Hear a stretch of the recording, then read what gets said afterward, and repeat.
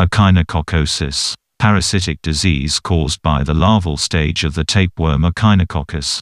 There are three forms of Echinococcus that affect humans, Echinococcus granulosus, Echinococcus multilocularis, and Echinococcus vogeli, and each has a different geographic distribution and tends to cause a different pattern of disease. Echinococcus granulosus is common in areas where livestock is raised in association with dogs, in Australia and New Zealand, Argentina and Chile, Africa, Europe, the Middle East, and the Mediterranean region, especially Lebanon and Greece, and causes unilocular cysts. Echinococcus multilocularis is found in alpine, subarctic, or Arctic regions, including Canada, the United States, and Central and Northern Europe and Asia, and causes multilocular lung disease known as alveolar hydatid disease, AHD. Echinococcus vogeli is found only in Central and South America and causes polycystic hydatid disease. Although many infections are acquired during childhood, clinical signs of echinococcosis may not appear for years, except when cysts are in vital organs. Symptoms and signs may resemble those of a space-occupying tumor. Liver cysts may eventually cause abdominal pain or a palpable mass. Jaundice may occur if the bile duct is obstructed.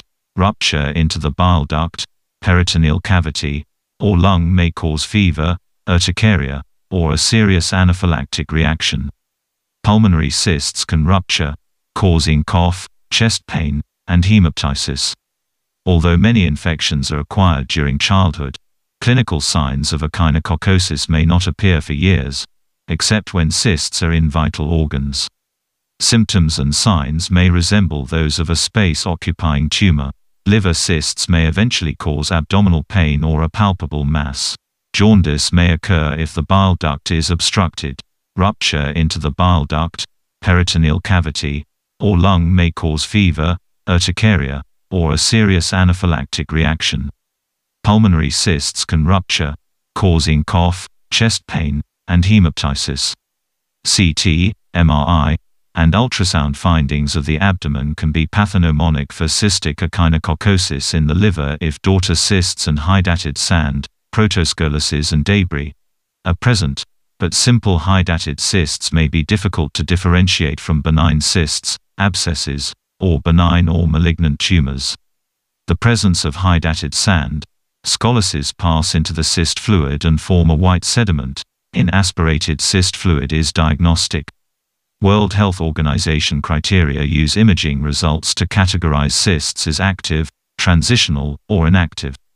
Pulmonary involvement may present as round or irregular pulmonary masses on chest X-ray.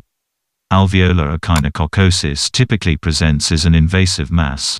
Serologic tests, enzyme immunoassay, indirect hemagglutination assay, are sensitive in detecting infection which can be confirmed by demonstrating echinococcal antigens using immunodiffusion or immunoblot assays.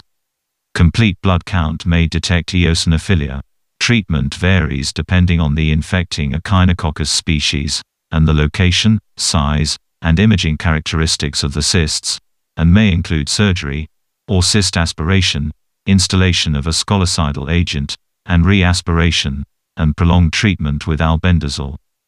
Treatment varies depending on the infecting Echinococcus species, and the location, size, and imaging characteristics of the cysts, and may include surgery, or cyst aspiration, instillation of a scolicidal agent, and re-aspiration, and prolonged treatment with albendazole.